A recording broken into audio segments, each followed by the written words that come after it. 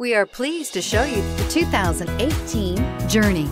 Dodge Journey combines the practicality of an SUV with the comfort of a car, all while boasting a style all its own. The Journey's optional third row seat, along with innovative features like a chilled beverage cooler and in-floor storage bins, make it a good and affordable alternative to a traditional minivan and is priced below $25,000. This vehicle has less than 15,000 miles. Here are some of this vehicle's great options. Traction control, dual airbags, leather-wrapped steering wheel, air conditioning, power steering, four-wheel disc brakes, power windows, compass, electronic stability control, CD player.